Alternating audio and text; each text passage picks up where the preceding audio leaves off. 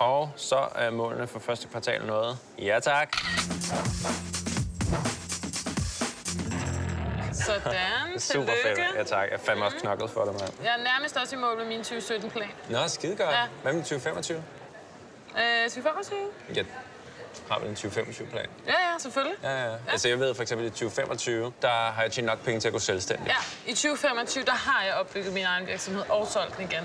I 2025, der udvider jeg, sådan, så jeg kan bruge mere tid sammen med min kæreste. Ja, ja, men i 2025, der møder jeg min mand, og vi bliver gift året efter, fordi vi bare ved, det er rigtigt. I 2025, der har jeg købt et hus i Spanien, så kan vi bo der i vinterhalvåret. Ja, i 2025, der starter vi et økologisk landbrug, og vores børn bliver formentlig noget inden for det kreative. Jeg har allerede skrevet testamente. Ja, jeg har allerede fået min æg ned. For det er godt at have en plan. Hvad er din 2025-plan?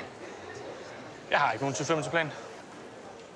Nå, men det er vel også okay. Ja, ja, ja. Nogle gange så kommer tingene også bare af sig selv. Ikke?